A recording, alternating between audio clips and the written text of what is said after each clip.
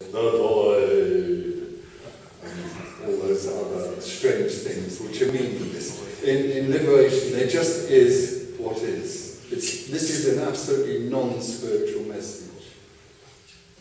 When, when the seeker dies, everything to do with spirituality, God and all that karma simply collapses with it because it's so much dross anyway. And all that's left is what is. This simple beings, this floor, this room, this. This room, this floor is everything. This is everything. After liberation, nothing is needed because everything is complete. There isn't anything here that needs anything because this is complete. So the question, uh, where does it come from or what is the source, doesn't appear anymore. No, not in that. No, there's no question about what it appears from, but in response to the question, where does it appear from, it appears from nothing. It is nothing. This is nothing appearing as everything. It's not that there's nothing out there somewhere in the cloud and then it sends out everything. It is that nothing is everything. So this is, this is the absolute appearing to be relative. They're both the same thing. This is the formless appearing to be form. They're both the same thing. There isn't something apart that's the absolute. That's why it's complete. This is complete. This is everything.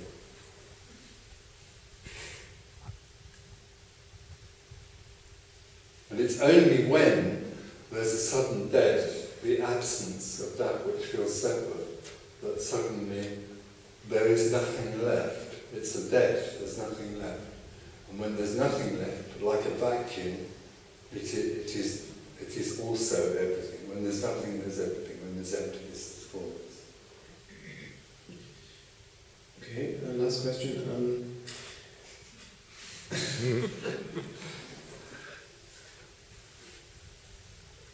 what what happened to you when you were 21? Um, um, was nothing. What happened to me when I was 21 was nothing. Was nothing, yes. Uh, in, in, the, in the natural language, but in the unnatural, unnatural language, um, yeah, something happened. So, um, and understood there's nothing we can do to shorten the process to get there or to become liberated or whatever. That's not what it is. It isn't, there's nothing you can do. Yeah. It is worse than that. there is no you. Three minutes ago I was much more clear, I'm much more confused now. um,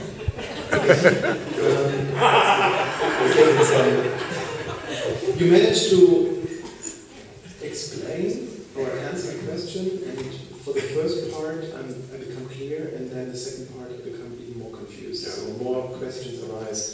Um, and I know there are no questions. Um, there are apparently questions. but I mean, that would be so because we're talking in two worlds, and the, the world, or the reality that I'm describing, which is in liberated reality, is unknowable. So obviously it would be confusing to somebody who wants to know something. There's nothing available here for somebody who wants to know something. There's nothing available here for the seeker at all. There's nothing for sale here. What's for sale here is nothing. So, so why do we seek? Is it is it part of the game or? Yes, it's, it, the, the, in the appearance you seek because you feel you have a sense, an embodied sense of being separate from everything else. So because you feel you are something, everything else in this room seems to be something else, and that's the dissatisfaction. That's the feeling of bereftness. That's the feeling that something is, is lost. So you go and try and find it. And then you meet somebody who says you never will because you haven't lost it.